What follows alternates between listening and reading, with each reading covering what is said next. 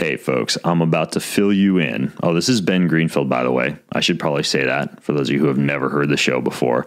I'm going to fill you in today on cell phones and why you got to be really careful with them. So, this one's going to freak you out and turn you into a complete aluminum hat, aluminum tinfoil hat wearing uh, hippie in the forest.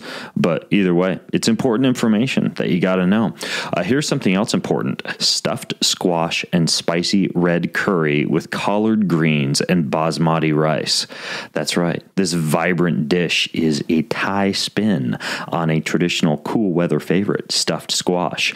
And you can get all of the ingredients to make this yourself sent straight to you, along with a handy ingredient card that shows you exactly how to make this impressive meal when you hook up with this company called Blue Apron.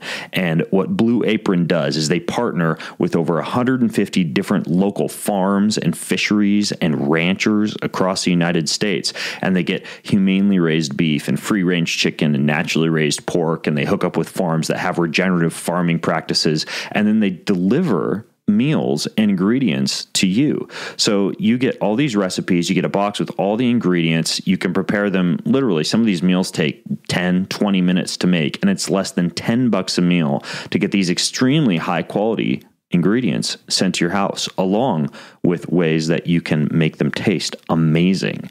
Even my kids use this stuff when we get our Blue Apron meals. They whip out the recipe cards and they can make me a full on meal like this stuffed squash and spicy red curry within a matter of minutes. So you can check them out over at blueapron.com slash Ben. And when you do, you get your first three meals free with free shipping. All you do is you go to blueapron.com slash Ben and you get your first three meals free with free shipping. Uh, this podcast is also brought to you by a website that's actually a ton of fun to surf around on because they have these really, really cool minimalist styled watches. They actually have sunglasses too, but they're called movement watches. I have one and it's amazing. It's got like a leather strap on it and a white face. As a matter of fact, if you go to their website right now, it, and their website, I'll, I'll, give you in a second, uh, the exact watch that I'm wearing is being shown on the model the attractive hand model of the man on that website. So I must have chosen a good one.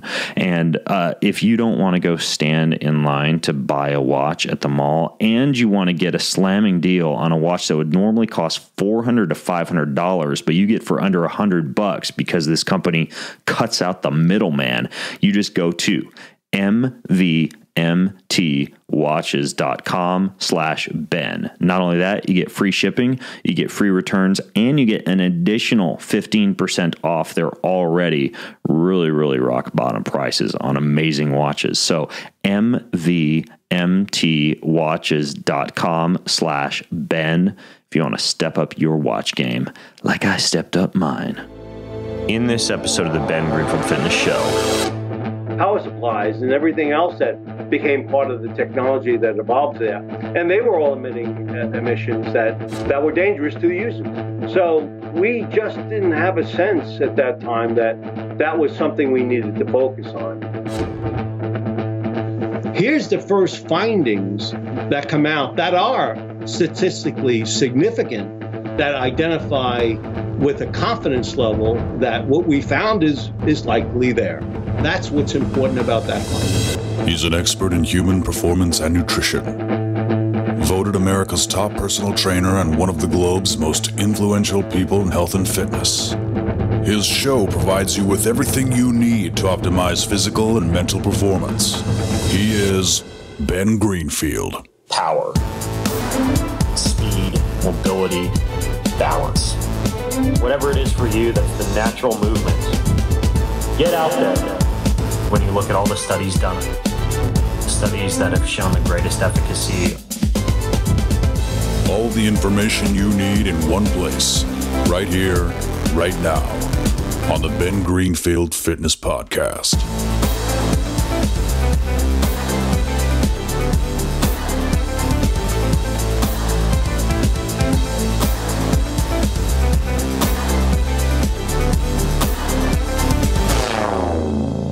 Hey, folks, it's Ben Greenfield, and I don't know about you, but literally like two feet away from me right now, and now it's in my hand because I looked at it because I, I just can't resist when I when I look at it or feel it or touch it or have it in my pocket to play with it. Uh, you probably have a cell phone nearby, possibly a, a fancy smartphone like I have. I resisted getting one for a long time.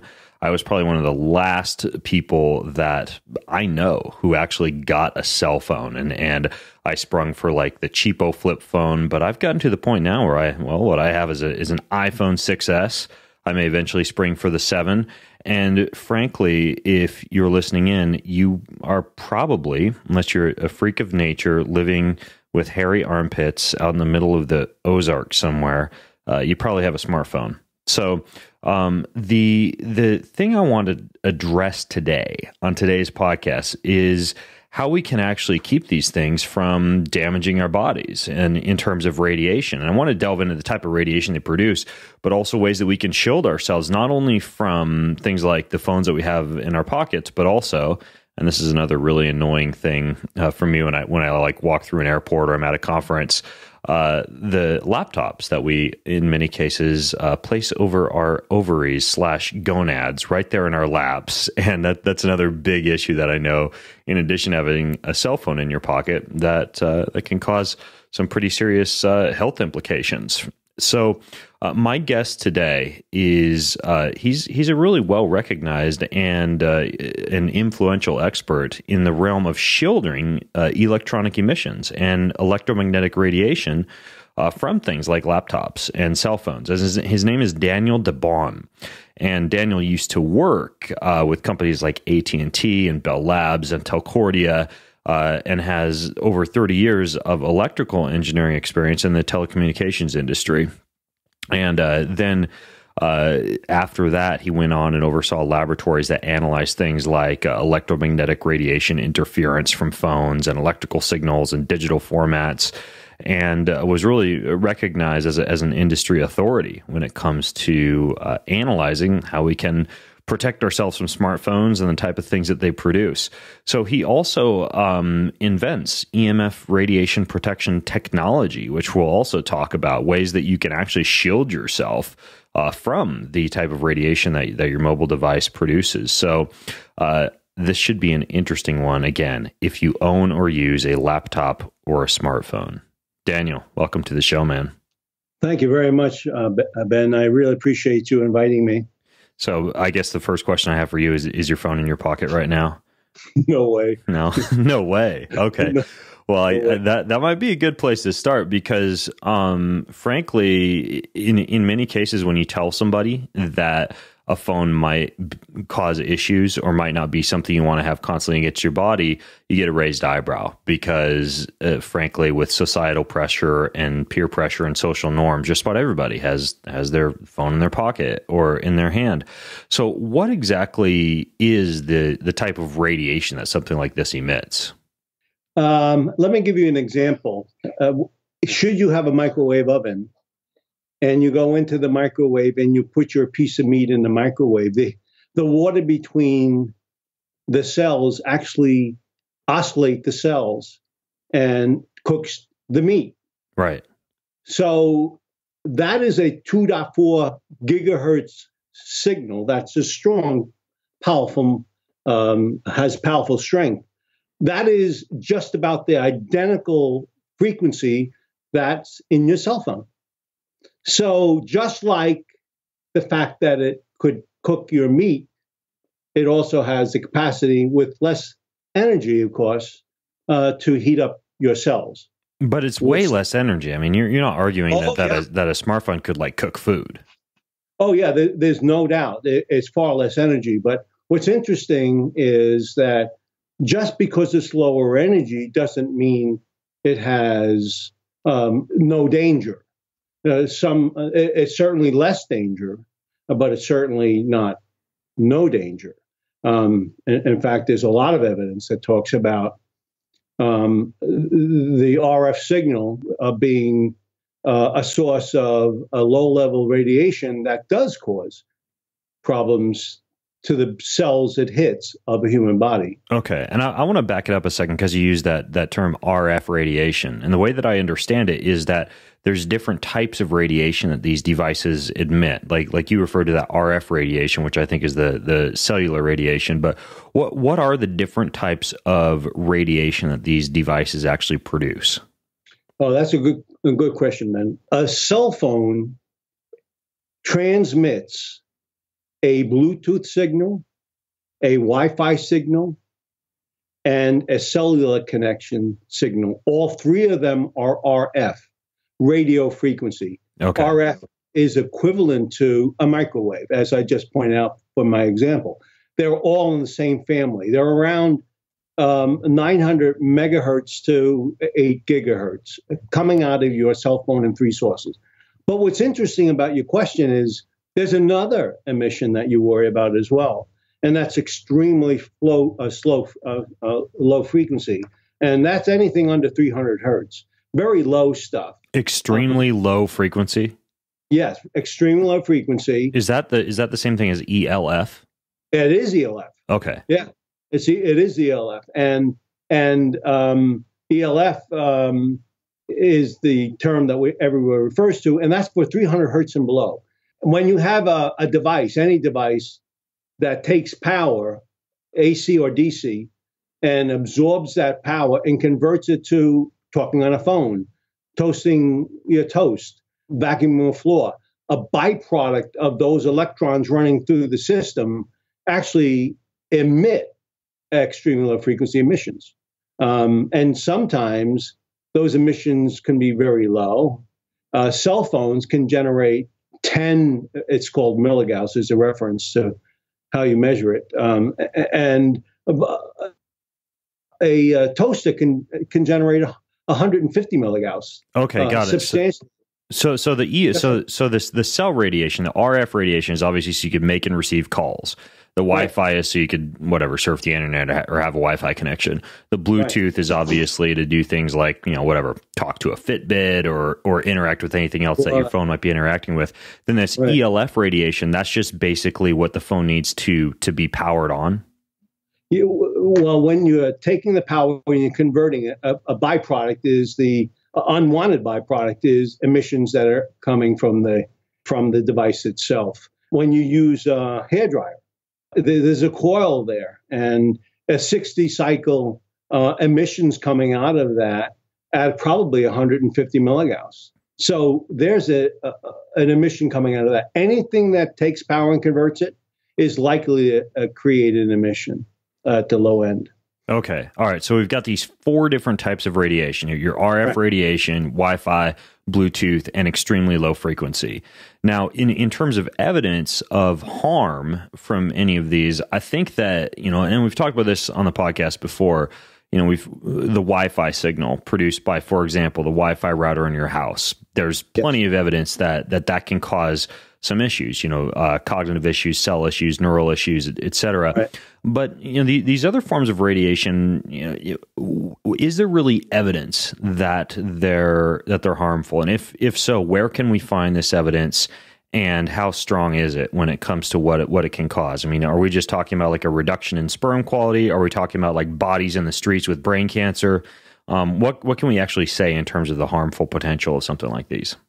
That's a very broad question. Um, let, let me try to uh, break it down for you. Uh, I'll give you an example first before I start, so so frameworks what I'm about to talk about. In uh, cigarette smoking, when I was young, uh, 12 years old, which was quite a number of years ago, nothing was known publicly about the linkage between cancer, lung cancer, and smoking. It was only in the 80s that we actually began getting evidence that was public domain evidence that suggested there was um, some dangers to the body uh, as when you smoked. So it was around for many, many years. Science knew for a long, long time it created problems, but it never became common knowledge until they began losing in courts.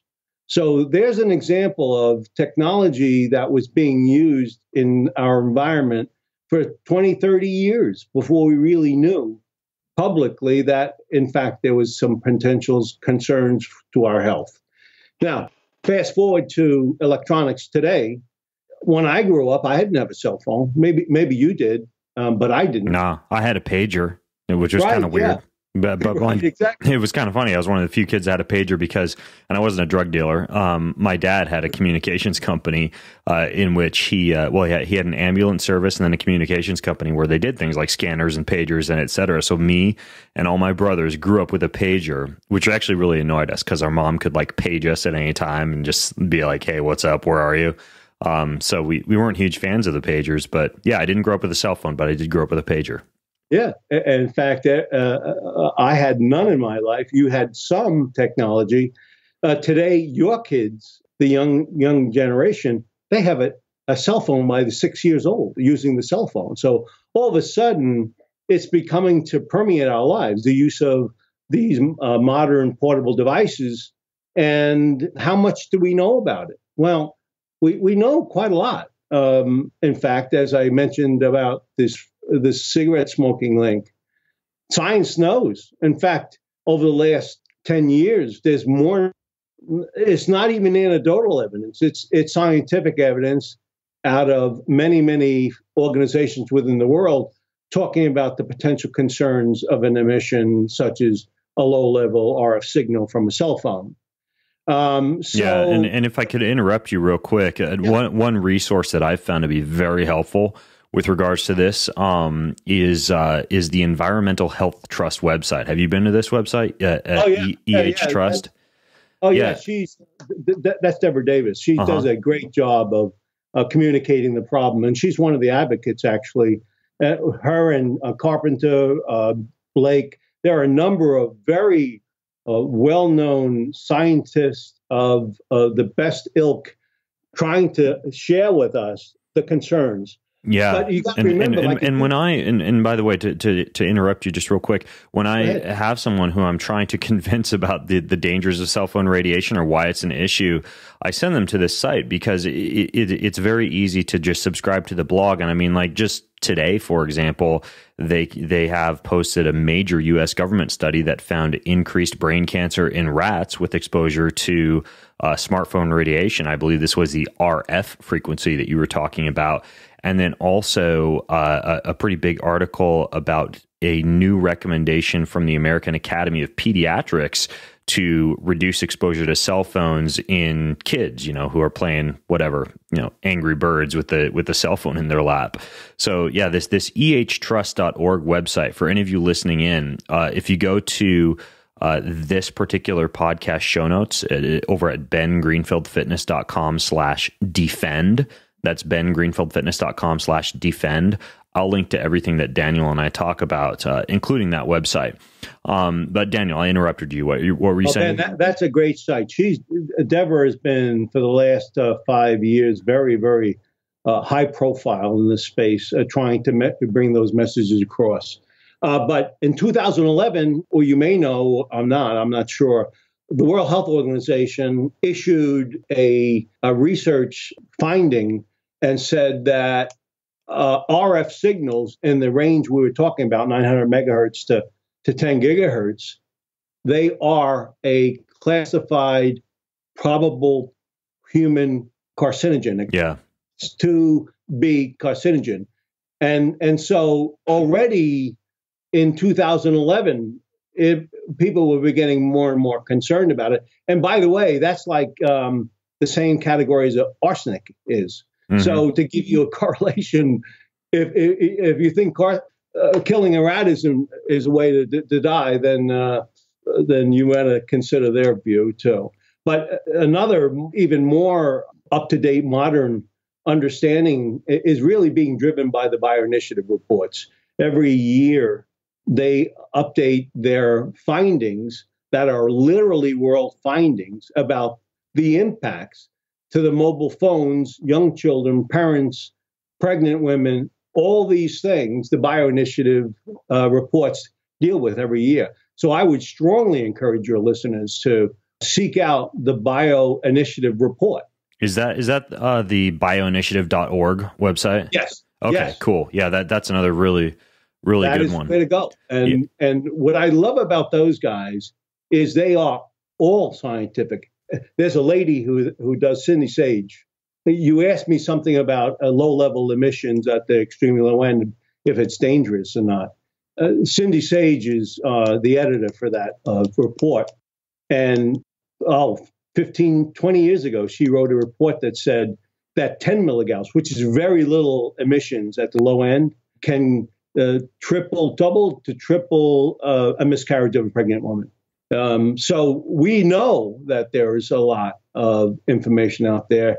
They've been pushing that kind of information, also all scientifically based, and uh, and they're the ones who are sort of the beacons in the space. One final thing, you did mention the uh, National Toxicity Program. That mm-hmm. I think is the science group behind that um, I, I, hate to get into detail, but one of the controversies of, of the standard is um, remember we talked about the microwave oven and, and it cooks your meat? Right. Um, well, that's called a, a thermal uh, thermal impact of a, a so a RF signal at 2.4 gigahertz has a thermal impact. It's well known in science and has been for many many years. In fact, the standard talks only about the thermal impact they when the standard was set up 30 some odd years ago, the, the, the standard was a six, six foot male, occasionally using a cell phone. And what they concluded is if it was uh, more than uh, an energy level of uh, 1.6 watts, just, just a simple number. If it's more than that, the, the temperature around the ear or wherever you have it will, will increase by two degrees. They only worried about the thermal impact. They never worried about the biological impact. Okay. So if you look at the uh, national uh, national uh, tox, toxicology program report, and by the way, that's a division of the uh, a, a national um, uh, health organization. Uh, they're they're the federal government. They spent twenty five thousand million dollars on setting up a clean environment, and it was an epidemiology study in which they looked at the impact of an RF signal around uh, 1.9 gigahertz um, at, uh, using CDMA and TDMA, two different technologies that are currently being used by cell phones. They what, what are they called? CDMA and what? Uh, uh CDMA and TDMA. They're they're coding applications. Okay. Uh, uh, code division multiplexing, uh, time division multiplexing. It's it's the way they transmit the signals and how they're received. And so what they did was they set up an environment, and a thermal impact is when you're really, really close to the signal.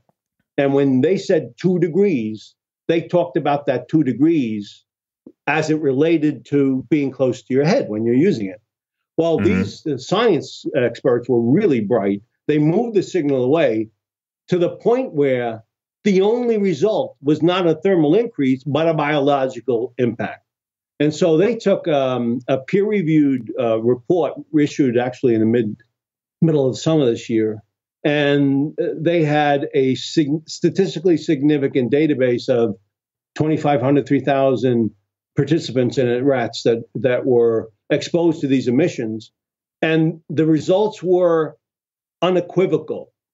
There is a direct link between the, lo- the front lobe of the brain yeah. and to the heart, believe it or not. They were surprised that they found a, a sort of a rare um, a, a cancer uh, being uh, uh generated uh, by uh, by emissions um, these types.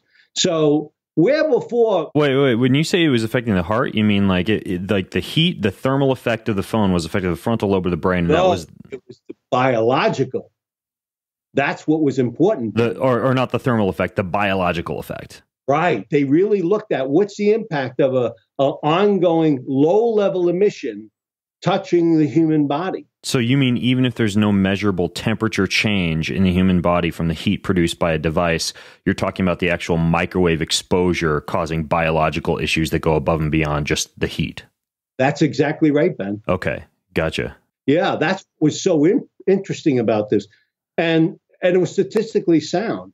So now the federal government, a branch of the federal government, has said that this stuff has a direct link to very serious health concerns. Yeah. And where before this was a debate, uh, ongoing debate in, in all the industries that, that play a part in this was a clear and evident uh, linkage between uh, this use of a cell phone and the potential impact to the body's cell. Have you seen some of the research on genetic mutations and cell damage, like DNA structural breaks and oh, fragmentation, yeah. stuff like that? Yeah, well, I, I t- Ben, one of the things I, I was in the labs. Um, I haven't talked about my uh, background, but I was in the labs and I would look at the, the data and I try to determine um, the, the, accuracy of findings. And um, where before uh, there's been this debate, and, here's the debate. The only way you would be happy that I can prove that to you that I'm plus or minus 5% confident of the data I give you is if I took, well, I don't know, 10,000 children, I put them in a room, radiated them, and watched to see what happens over a 20 year period and see who died and how they died. And obviously, I'm not going to do that, Ben, right? Because we're not going to do that to our children. So there's a lack of this definitive, statistically significant data uh, simply because of the nature of the technology we talk about. Here's the first findings that come out that are statistically significant that identify with a confidence level that what we found is is likely there. Yeah. That's that's what's important about that finding. Yeah, and and again, like like I don't want this whole podcast to just be scaremongering, but I mean, if you go to like this this EH Trust website, you find not only those those DNA issues, but things like oxidative stress, right? Which which I've talked about on this podcast before is probably one of the primary uh, causes of mitochondrial damage and eventually cancer and Alzheimer's disease. Um, there, there's some really interesting studies. Uh, have you seen the ones on sleep, like like the disruption of the ability to get into deep non-REM sleep? Oh yeah, it, it mucks around with your uh, melatonin. Right, uh, exactly. that's why you should never ever sit near uh, any transmitting uh, uh, technology even clocks transmit. As I said before, there's a byproduct of them operating. A cell phone, certainly not, because it screws around with your uh, ADHD is considered. Um, there are d- many studies that talk about the impact of children exposed to these emissions. Um, in fact, there was a, a guy from um, from uh, UK, uh, Bernie Trower, yeah. He's a, a, a, British physicist. Uh, and he was working for, oh, I don't know, 30, 40 years in the in their military. And his his expertise as a physicist was to build weapons, RF weapons. That's what he did for the government. So over the last, I don't know, um, uh, 10 years or so, uh, Bernie's retired and Bernie T R O W E R retired. Yeah, and he's been going to classrooms, uh, uh, uh, parents uh, that that are of children in classrooms, and trying to identify the fact that the RF your children are exposed to, the 2.4 gigahertz and the 5.0 gigahertz of a Wi-Fi signal in a classroom was the kind of weaponry I used to fight enemy. That's how um, he um, the messages he was pushing. That's crazy. That, that's why, like, like I have, for example, like something I travel with and keep in my house is I've got one of the. I, I use a MacBook, so I've got a little FireWire Ethernet converter, and yeah. I almost constantly have the Wi-Fi turned off, right? The the airport turned off on not just my phone, but also on my computer, and I hardwire in. Like I take this thing to hotels, and when I check into a hotel, I ask them, do you have an Ethernet cable that I can use? Because most of them do. And most hotel rooms, if you have like an adapter, you can just plug straight into the Ethernet cable on your computer, for example, so that you don't have to get exposed to the Wi Fi that you were just talking about. Because, I mean, the, the the the data on that alone, you know, cell phones aside, is flabbergasting when it comes to the the amount of issues, health issues from exposure to Wi-Fi, constant exposure to Wi-Fi. The other thing that I do when I go into the hotel room, for example, is I find the the Wi-Fi router and unplug it right away so that I can only be hardwired into the wall. Yeah, Ben, that's uh, uh, you're you're absolutely right. In fact, uh, let me give you a, a technical uh, content message. Um, um, a cell phone generates 1.6 maximum 1.6 watts per kilogram. Um, if you were to go into a classroom where there's Wi-Fi, what is the what is the level of energy that's in that room? It's 0.5 watts, which is a substantially high energy level uh, emissions that are in enveloping the children for eight hours a day. Yeah. And, and, and by the way, you, you said something that was very important. Um, we don't want to monger, uh, be warmongers about, about this subject matter. And, the, and there's a real reason you shouldn't worry about it because there are simple things you can do, Ben, to reduce exposures. When you're in these kinds of environments, um, in your home, for example, you're a great example of what to do to reduce emissions that you're exposed to. And, and, it's simple stuff you do. And all you're doing really is reducing the impact to yourselves from the constant um, um, attack from these emissions around you. Simple things. When yeah. you use a cell phone, do you know that when you take a cell phone one foot away from your head, 80% of the danger is gone? Yeah, that's what I've heard. Basically, the distance uh, from which you are, or the, the distance you are from a signal, uh, the, the radiation from that signal exponentially decreases the, the farther that you get from it, right? Yeah, that's exactly right. By four foot, it's 98% almost. Okay, so D- does that mean that, for example, the use of a the use of a headset would be advantageous over hold, having the phone up to your up to your, to your ear? Obviously. Yeah, um, there's sort of degrees of. Uh, uh, uh, if you think about a cell phone, um, if you have it directly against your head, you're being exposed to the power levels maximum of 1.6 watts. If you were to put that and put earbuds on or or overhead um, um, earmuffs, um, that would reduce that by eighty percent. Mm-hmm. Yeah, and, and and the other important thing to note with regards to that is that Bluetooth uses the same microwave frequency as a microwave oven as well. I, I think Bluetooth is around that that two point four gigahertz or so signal. And so people who hear you're not supposed to hold your cell phone up to your ear, but then get a Bluetooth headset you're still getting microwave frequencies right next to your brain when you're using a Bluetooth headset, right? Oh yeah, that's that's Ben. That's a very good point. And, you know, I, I, typically interject at this point to try to give a perspective of what that means. Um, a cell phone can go up about five miles, and so it has enough power, enough energy to go from your your cell phone to to a tower that's almost five feet five miles away. Uh, Wi-Fi has enough power to go several hundred feet. So there's much less power typically being transmitted out of that device. Bluetooth can go about 30 feet. The types of technology we talk about, portable devices, um, the class uh, the class two um, uh, Bluetooth, it, it, runs about 30 feet. So, is a Wi-Fi using a Wi-Fi connection better than a cell phone? Yeah, the power is much less. Uh, but is it good? Not necessarily. Bluetooth is better because it's much less. Right. Um, and then is the Bluetooth a problem? Yeah, there's still a low level of emissions. And um, is a wired um, um pair of earbuds better? Yes. Uh, that's even better because there's less energy being transmitted. Yeah.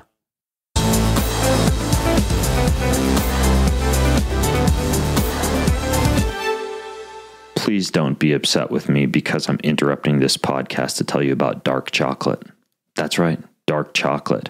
So there is this website where you can get dark chocolate covered espresso beans, dark chocolate turbinado sea salt almonds, dark chocolate covered peanuts and cashews and cherries, and even dark chocolate coconut haystacks and dark chocolate orange peel strips.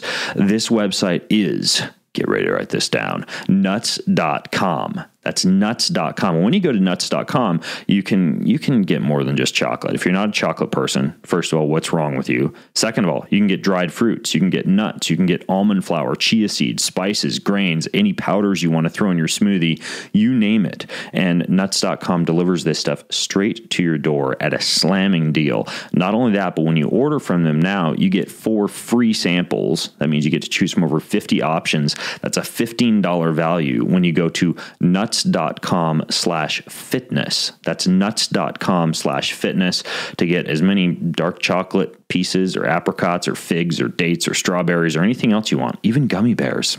Not that I endorse heavy consumption of gummy bears, but nuts.com slash fitness if you did want to do that. And you get free samples along with your order. So check them out.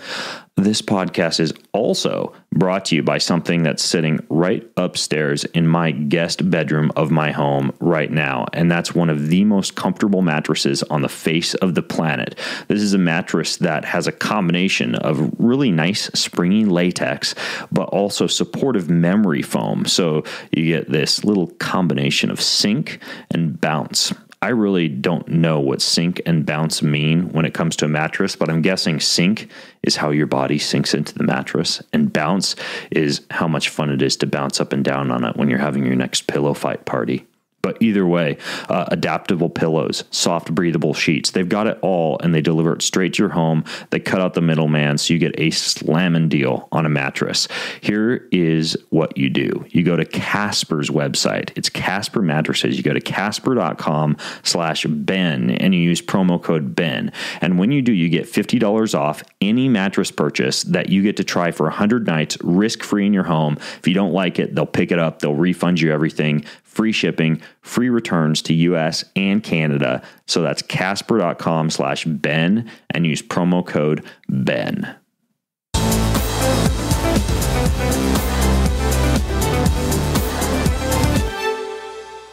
So, so when it comes to, for example, keeping your cell phone away from your head, one thing that I do is I use a special kind of headset called a, an air tube headset. Have you seen these? I ha- I have been that is the best uh, to use. And can you uh, can you explain to people since I know you're the expert in this, you could probably do a better job explaining it than I can. How does sound actually arrive at your ear when you're using an air tube headset? It's acoustical. Um, when when uh, we when you have a speaker in a room and you're listening to the music, uh, that that uh, sound wave is interacting with the uh, sp- airspace and all of a sudden it comes to your ear and you can hear. Well, that's what happens literally with air tubes. They they take it, they convert the uh, the um, the audio into a speaker, and then they take that speaker and they put it through a tube, and at the other end you can hear it, and there's no electrical signal being transmitted through that that uh, tube. So you have the benefit of hearing the the um, the the the the, uh, the video voice uh, or music, whatever it may be, and um, you have the benefit of no emissions passing closely to your head while you're using them. Yeah, I like it. Now, now a couple other questions before we talk more about ways that we can protect ourselves from these type of things. Um, first of all, I know that you worked, or at least were were involved with companies like Telcordia and AT and T and Bell Labs do you know anything about like internal discussions that are going on in the cell phone industry to try and mitigate some of these issues? And one of the reasons I ask that is like, you know, for example, um, I know that Apple just produced the iPhone 7 that doesn't even have a headset jack. So, like that AirTube headset that we talked about I think you have to have some kind of special adapter to even yep. be able to use, and that's how they made the phone waterproof. But I'm curious, like, like is there is there discussion inside these agencies that you're aware of in which people are trying to figure out ways to mitigate the damage rather than just make these devices more convenient to use and or more powerful?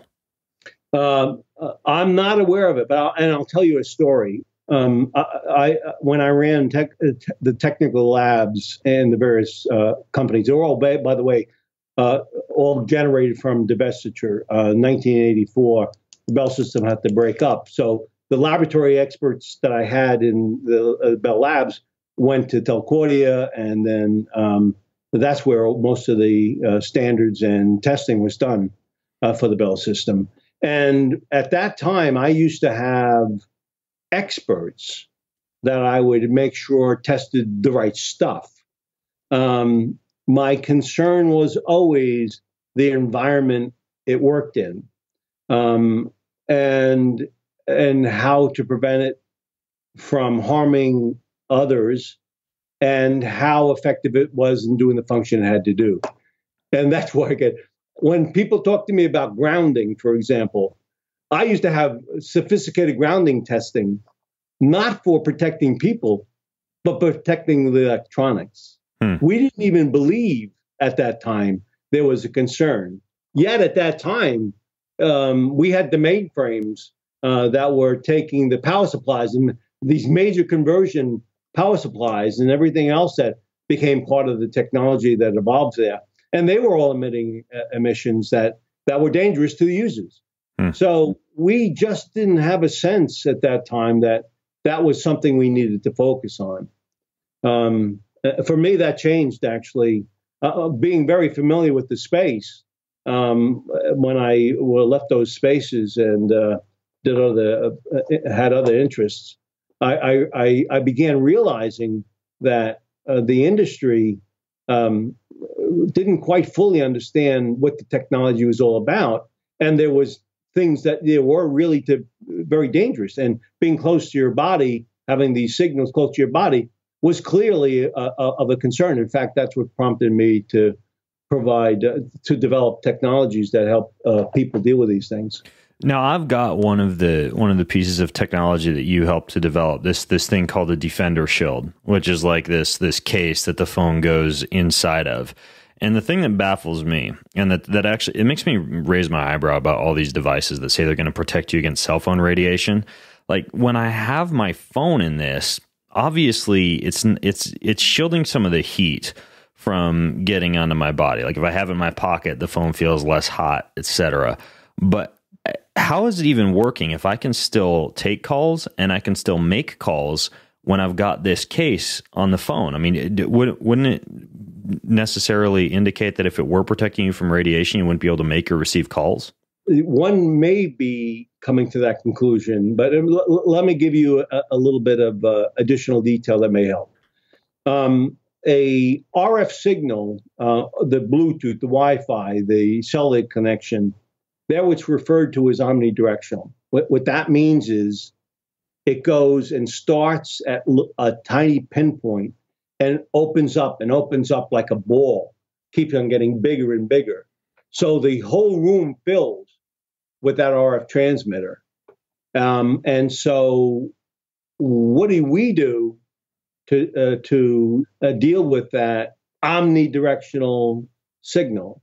What we do is we simply create a wall, a wall that says URF signal can't go through here. Okay. But if you want to go the other way, be my guest. And it lets you go in the direction of the cell towers or the Wi Fi. It works fine and doesn't interfere with the signal at all. But that part of the RF signal uh, that is towards your body, we shield with a uh, with a wall. Simple as that. Okay, so basically, when I when I put my phone inside this case, this Defender Shield case, it allows the RF frequency to not penetrate into my body, but at the same time, it allows the phone to send out a signal to the tower itself. Yeah, yeah. And I mean, and and the way that it's doing that is because the part of the the of it that's facing my body is that like a stronger shield, and the part that's facing outward yeah. not Yeah, that's okay. right. All right, it has got a it. wall, the other side doesn't have it. So if you if you owned a case like this, you would want to make sure that you didn't like put it in your pocket with the wrong side facing in. That's right. Ben, that's I exactly didn't know that. Okay. Yeah, you, you, definitely want to put it in the where the where the where the wall is is facing your body. What's it made out of? What is this case made out of? You know, it's funny. Uh, good, good, good question. When I was in the labs, and I hate to say it was early '80s, actually before that, um, we there was a transatlantic um, cabling uh, put in. And one of the problems that was uh, we were encountering encountering when we were going over there was that the byproduct of a current flow, which we talked about before, was an emission, electromagnetic radiation, at the 300 hertz and below, and the fish were attacking the the the uh, the cables. So we actually at that time invented um, a material. It was a composite of many uh, materials that uh, that combined actually refracts the the the uh, emission and keeps it contained and it's lost in the material. So what we have is in our wall a um, we refract the stuff that's 300 hertz and below, and we conduct and absorb the RF that's above. So it's a simple it's a simple concept. Um, we don't get too complicated about it. It's a, it's a serious engineering problem, but uh, from a, a, practical design point of view, it's fairly straightforward. Okay, so the shielding is just made up of a bunch of layers of, yeah. of products that absorb the EMFs. Yeah, that's right. Exactly. Okay, got it. As well as the heat. Yes. Okay. Hey Ben, I want, let's go back to the, what happens to a cell. Sure. That's always a good story. I, as a mechanical engineer, you look for the mechanics of what happens uh, to a to a cell. And we have spent a lot of time trying to understand these kinds of things. And some of the conclusion I've found in the medical community is is inspiring. Um, when, when you talked about oxidative stress of the cell, uh, oxidative stress actually creates a thin, a thin film uh, uh, around the cell. It becomes weakened. Um, as a result of that, as you may know, um, the proteins that pass back and forth um, are are retarded, uh, sometimes not non-existent between the uh, adjacent cells. And so all of a sudden, you have a situation in which you're not feeling well today, or something not quite right, or you're getting right. headaches.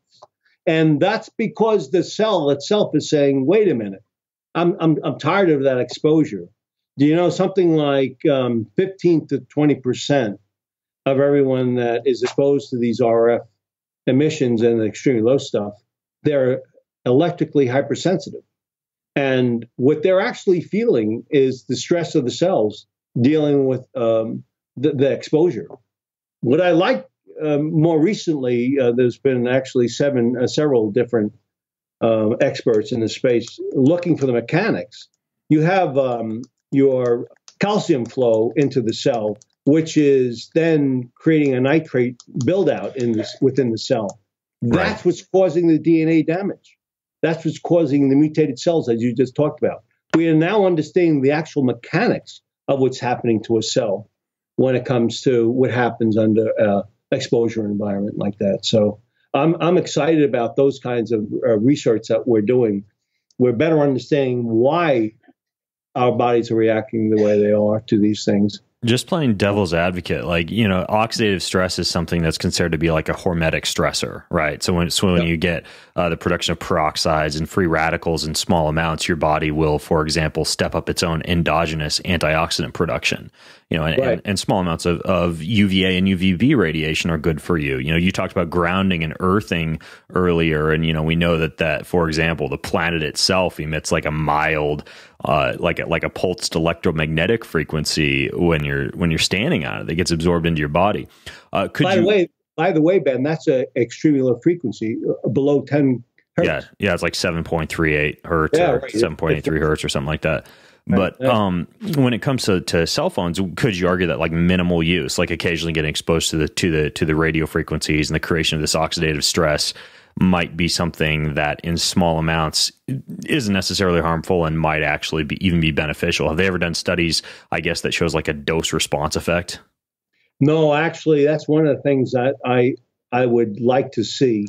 Uh, a lot of, like for example, with um, with the uh, National uh, Tox- Toxicology Program report. Um, they didn't say if we moved it an inch away, this is the effect that would happen. If we reduce the energy level by X, that's what we saw happen. So there's not a lot, a lot of granularity in what we understand these days yet. And so uh, we created rules of thumb. Um, if you're going to be in front of an RF signal for really, really a short period of time, and it's a um, reasonably strength uh, um, uh, emission, um, and you're not going to be doing it long, then don't worry about it. It's not going to bother you. what we know is the longer you're exposed in the three hours or more space, we know that's when it's more likely true that there's oxidative stress. Okay. There's there's an impact to the body. So it, it's duration. How long are you there? Um, and um, and you got to watch that. As you increase it, it gets worse. Okay, got it. So you've you've got this case that the phone goes into this this Defender Shield case. It's basically the best way I can describe it. And if you go to bengreenfieldfitness.com slash defend, I'll I'll put a link and some photos of what this thing actually looks like, uh, along with a discount code uh, that you can use to to get a fifteen percent discount on on this actual case um, it, it's like a flip open case that flips up, or or you know, as I told you guys, I think the last time I saw you at a conference, Daniel, I was showing you how hard it was for me to Snapchat yes. with the with yes. the flip. But you guys have a different case that'll that allows for us social media right. mavens to to be able to right. Snapchat away. Um, so so this case opens and closes over the phone. It goes into the phone. How is this any different though than you know? There's so many devices out there. There there's the oh. like these little dots that you put on your phone. There's like the um, one I've talked about before is like the Pong case that that supposedly blocks EMF. Like like what's the difference between this and any of these other devices out there that supposedly block EMF? Uh, great question, Ben. Um, I, I, always like to help um, sort that through, especially the, uh, the, especially the holographic stickers. By the way, those, those are the ones that, that always get me. It, it, it's very simple, uh, Ben. When uh, working in, in a laboratory, the only thing you consider real is something that can be measured. Measured knowing what you have with measurements that you know is real. Um, so when you look for any device that talks about its place in the world in the RF space is shielding, you always want to make sure that there's evidence, independent evidence that it works. Now, let me get back to to Pong. Pong and others, um, they use a different technique for what they refer to as shielding. It's remember we talked about the omnidirectional link. Um, mm-hmm. It connects. It's omnidirectional. Um, a cell phone can create three different levels of strength, and what those three levels are is hey i'm really close. I don't need to output a lot of power. And then uh, you walk away from the tower you're two miles away. Oh i need more power. Let me go to the medium level. And then there's the i'm five miles away. I can barely see the tower. I'm going to be at the maximum strength. What pong and others do is they actually take that signal and they build an antenna a bridge between the cell phone and the tower, they help that signal find a path to the tower easier than it typically would be, thus making it appear it's less distance, has less power needed to be generated. So, in the case of um, of Pong types of technology, they're reducing the power levels of the cell phone itself because they're helping increase the connection uh, efficiency between the cell phone and there. So they actually do. They're an engineering product that do what they say they do. Hmm. Uh, they don't eliminate the signal. We eliminate it, but uh, their technology is better. It's like we were talking before about uh, earbuds uh, versus uh, putting a, to your side versus other ways of dealing with emissions. Reducing the power level is one of those things that's a good thing. Even those holographic stickers? No, no, no, no. They they're in a in, in my opinion they're in a different class. Uh, they at most they talk about an indirect um, result. There is no such thing as an indirect result when it comes to scientific study. Um, they can claim that if we use this and the muscle changes in this way, therefore something happened and you're safe. That is illogical. It's not an engineer based uh, evaluation. Uh, with those kinds of things, they're using technologies that, quite honestly, I'm baffled with because it's not scientific physics they're talking about. Um, so for me, some of this stuff just doesn't seem to make any sense. And it's very simple. Where's your independent laboratory study work that shows this is to be as legitimate as it says it is? Got it. And they'll have difficulty finding it. Okay, so you guys have done actual FCC certified lab testing, like independent Oh, yeah. testing on, on this case. Oh yeah, you anybody uh, that you buy from, you should look for independent study work that that that identifies the claims as being accurate or not. Okay, now now this would obviously fix my cell phone issue if I put this around my cell phone, and then ideally, when I'm making and receiving calls, not only would I have it inside this case, but I'd be using like an AirTube headset, right? Yeah, you Okay. actually put your cell phone in your pocket with the air tube. It, it's the ideal world for you. Okay, cool. Um, and, by the way, you can get these air tube headsets like off of. Uh, well, I know you can get them on Amazon. Do you guys have them on your website, Daniel? Uh, they're actually going up this week, believe it or not. Okay, cool. So so if people use that fifteen percent discount, then they could they could get the discount on both the AirTube headset and also the case. Yes. Okay, cool. Now, what about laptops? Um, because obviously, you know, not only if you don't have the airport wireless turned off, are they emitting a Wi-Fi signal? Um, do they produce an RF signal as well? Oh yeah. Uh, uh, Really? This is an important point. I think you're you're uh, talking about. A tablet looks so small. Remember, generates a Wi-Fi signal as strong as your laptop. There's no difference. They they go to the maximum power levels to connect to the routers. So you have the Wi-Fi signal 2.4, 4, eight, uh, 5.0 gigahertz transmitting from uh, laptops. Uh, you have the Bluetooth typically. Um, the um, you have the ELF, by the way. That's also there as well. A, a great story, Ben. Um, when I got involved with this stuff uh, several years ago, um, with uh, we were on, it was a holiday season this time of year.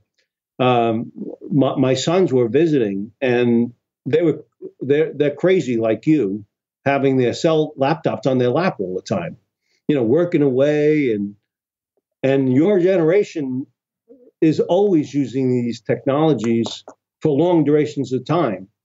So, uh, my wife says to my kids, um, you know, there's got to be something wrong. I want grandchildren. Um, can't you do something about not putting it on your lap so long? And that's when I thought, wait a minute, I know exactly what the problems were. Let me go find a solution. I, I couldn't find it. In fact, I thought a lot of misinformation in the marketplace. So that's why I created and designed the technologies I, we use to protect my sons. Hmm. After about Yeah. three to four hours of of cell phone, uh, laptop use, 25% of the male sperm count is immobile. Oh yeah, like my uh, not to be crass, but like my balls hurt when I when I work on a laptop without because I have one of these these uh, devices. These it, it's basically like a tablet that your laptop sits on top of that I just throw in my book bag and take with me everywhere. But it blocks the heat and the radiation, and I can put my laptop in my lap because I used to just use like a pillow, you know, for example. But this thing blocks more than the pillow, and and again, like my don't hurt after I've been on my computer for like, you know, 30, 45 minutes. You don't feel your thighs getting really hot. You don't feel that little bit of like sweat on your inner thighs that you get when you're working on the laptop. So having not just your phone inside a case, but also having your laptop on top of some kind of a, a pad, I think is also crucially important. Like if, I mean, why shield yourself from your cell phone radiation and then, you know, get yourself radiated by your laptop at the same time? Uh, th- that's right. Uh, uh, Ben, uh, you know, a pillow does nothing. A concrete wall does nothing. A, a, a, a piece of wood doesn't prevent a signal from passing through. So when you're feeling your um, walls heat up, that's the thermal impact of that signal close to your body. Right. That's exactly what it is. It's not just the heat coming off of the, with the fan, and those things can be dangerous. In fact, we we mentioned something about um, men, but probably ten years ago there was a study 10,000 10,000 subjects out of Italy, um, women that were exposed to um, emissions. Uh, they had uh, something like two percent were uh, had uh, tumors, non-cancerous tumors, by the way, most of them.